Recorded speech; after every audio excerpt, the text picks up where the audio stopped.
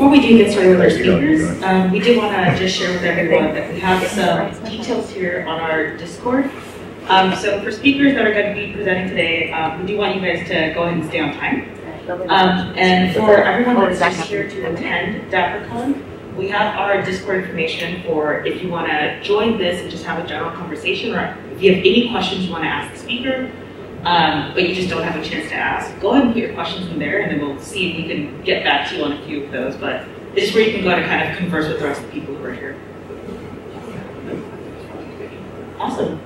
Okay, so welcome everyone. Uh, this is our second DaprCon. We're so excited to see everyone here. Um, so we're going to be doing uh, a recording of this as well. So one of the things I do want people to be aware of is kind of your position around here. So try not to walk in front and try to kind of cut around the backs and stuff and not cut in front of the, um, the recording as well, just so we can make sure we have a clean recording. I think that's all my, my announcements, I think. Fantastic. Okay. Do you want to introduce the first speaker?